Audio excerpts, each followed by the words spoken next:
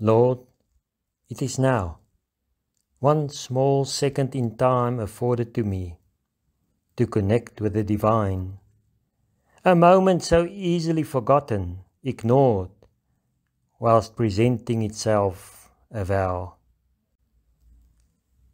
Life's full of tomorrow's plans, loaded with yesterday's groans, bemoaning lost chances of the past or uncertain advances not in my grasp. Letting this moment of life float unseen past my eyes. Let me use this single space, the only one I can now face, to live in your abundant grace. May I breathe this single moment, as it is the only breath I dare not evade, imminent. Lord, it is only now I can embrace to bask in your tender grace.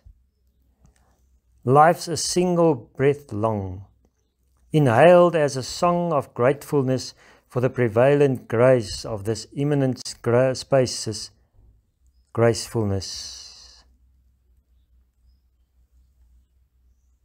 May I use this moment's prayer, pleading to be aware of your grace abundantly shared in every space of bestowed breath.